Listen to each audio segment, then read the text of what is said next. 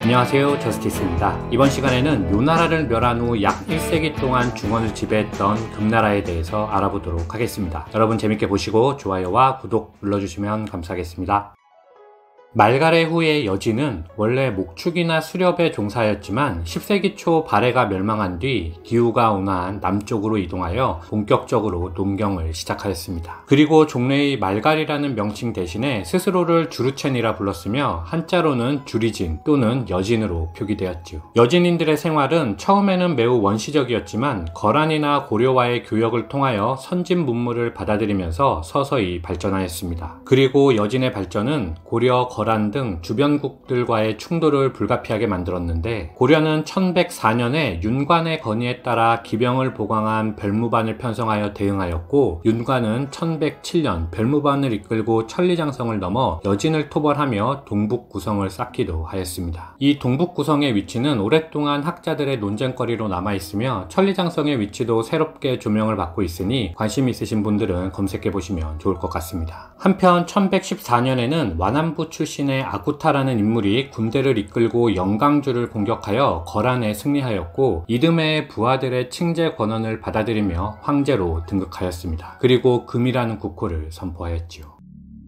1123년 아쿠타의 뒤를 이어 즉위한 동생 오걸매는 1125년 거란을 멸망시킨 후 고려에게 군신 관계를 요구하였고 고려의 실권자 이자겸은 정권 유지를 위하여 금나라의 요구를 수용하였습니다. 아울러 금나라는 요나라 편에서 말씀드린 장각 사건을 구실로 송나라를 공략하여 1126년 수도 카이펑을 함락하고 황제 흠종과 태상왕 휘종을 모두 포로로 잡는 정강의 변을 일으켰지요. 이듬해에 금나라는 흠종과 휘종을 세종을 모두 폐위하였고 태제였던 장방창을 황제로 옹립하여 괴뢰 정권 대초를 세운 후 북으로 돌아갔습니다. 다만 휘종의 군함 강왕 조구가 카이펑에 없어 화를 면했고 그는 남경으로 이동하여 황제를 자처하였으므로 남송 시대가 개막되었습니다. 이후 고종에 의하여 장방창이 폐위되고 사망하자 금나라는 이를 재침략의 구실로 삼았는데 이 시기 송나라 침략의 선봉장은 아쿠타의 아들 완한 종필이며 이때 완한 종필을 막은 송 송나라 장수가 바로 중국인이 가장 좋아한다고 널리 알려진 악비이죠. 현재는 중국이 한반도 북쪽의 역사가 모두 본인들의 역사라는 억지 주장을 하고 있기 때문에 자연스럽게 악비의 평가도 후퇴하고 있습니다. 물론 악비에 대한 평가 자체가 과장되었다는 주장도 있지요. 어쨌든 악비 등 장수들의 활약으로 금나라의 송나라 공격은 생각대로 쉽게 풀리지 않았고 결국 1142년 금과 남송은 황통의 강화를 맺어 화이수위를 양국의 경계로 삼았으며 남송은 매년 수많은 은과 비단을 곡물로 바치기로 합의하였습니다. 황통의 강화는 전연의 맹보다 훨씬 가혹한 조치로 금이 정복 왕조로서의 기틀을 다지는 계기가 되었습니다. 이제 금나라의 영역은 흑룡의 본거지인 만주에서 장성 이남의 화이수위에 이르기까지 북중국을 포괄하게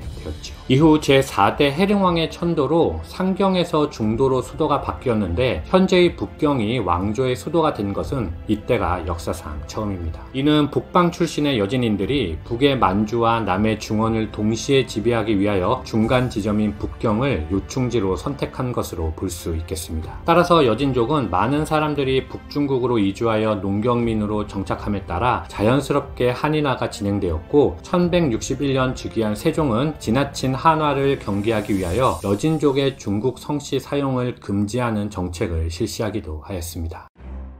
몽골 제국 제2편에서 소개해드린 바와 같이 몽골 초원을 통일한 징기스칸은 1214년 금나라의 수도 중도를 점령하여 금나라를 굴복시킨 후 돌아갔는데 이것은 징기스칸의 목적이 영토의 확장이 아니라 약탈에 있었음을 나타냅니다. 따라서 금나라는 중도를 버리고 남쪽의 카이펑으로 내려갈 수 있었죠. 하지만 징기스칸이 사망한 후 등장한 후계자들의 대외원정 목적은 더 이상 약탈이 아니었습니다. 1229년 즉위한 우구데이 칸은 이듬해 바로 금나라 공격을 시작하여 1232년에는 수도 카이펑을 포위하기에 이르렀습니다. 금나라는 거세게 저항하였지만 시간이 갈수록 식량이 부족해졌을 뿐만 아니라 남송이 몽골의 제안에 응하여 몽골을 도와주자 금나라는 개봉성을 버리고 체주로 도망쳤으며 체주성도 1234년 송몽 연합군에 함락되면서 실질적인 마지막 황제 애종은 자살하였고 금나라는 그렇게 멸망하였습니다. 금나라 멸망 후 남은 여진족들은 북쪽으로 후퇴하였고 숭화강 유역까지 밀린 여진인들은 이후 주로 어로와 수렵 생활을 계속하였으며 일부는 창바이 산맥을 따라 기반을 구축하여 농업과 수렵의 혼합 경제 형태를 이루며 살기도 하였습니다. 또한 일부는 야오허 동쪽에서 한인들과 섞여 농사를 짓거나 상인으로 살아가기도 하였죠. 이 중 명나라를 정복하는 누르하치는 창바이 산맥의 명문가 출신으로 이웃 여진족과 몽골족을 점령 또는 혼인 정책을 통하여 통합하였고 1616년 후금을 건국하였습니다. 누르하치는 1621년에 명나라가 자신들의 영토라 생각하고 있던 선양과 랴오등을 정복하고 선양을 수도로 삼으며 중원 진출의 발판을 마련하였지만 1626년 사망하였습니다. 이어서 홍타이지가 즉위하였고 그는 중국인의 도움으로 권좌에 오른 터라 한인을 대거 등용하였습니다. 그리고 1636년 그는 여진족을 연상시키는 금이라는 명칭을 버리고 청이라는 새 왕조를 선포하였습니다. 이는 금나라보다 더욱 강력한 권력과 넓은 영토를 갖기 위한 홍타이지의 의지가 표현된 것이라 볼 수 있죠. 아울러 이때부터 그들은 여진이란 말을 버리고 만주라는 말을 사용하기 시작하며 1912년 신해혁명을 통하여 마지막 황제가 물러날 때까지 약 300년간 중국을 통치하게 됩니다. 이상 마치겠습니다. 감사합니다.